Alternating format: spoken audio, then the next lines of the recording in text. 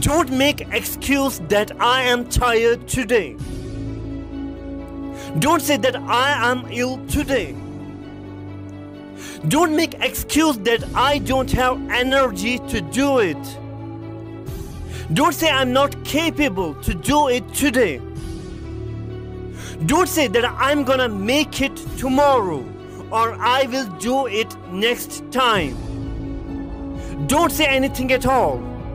Just do only one thing. Just kill your excuse. Remember, don't put off till tomorrow what you can do today.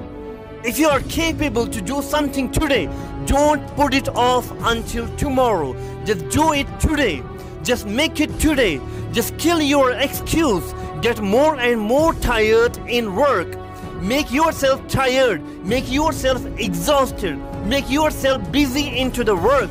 Don't stop. Keep going. Keep running.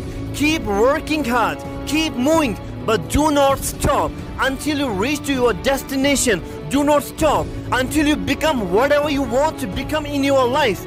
Do not stop until you rule over this world. Do not stop until your dreams come true. Do not stop until you make everyone feel proud over you. Do not stop until you achieve your goal. But it could be only possible when you kill your excuse. It could be only possible when you tired yourself. It could be only possible when you get more tired into the work.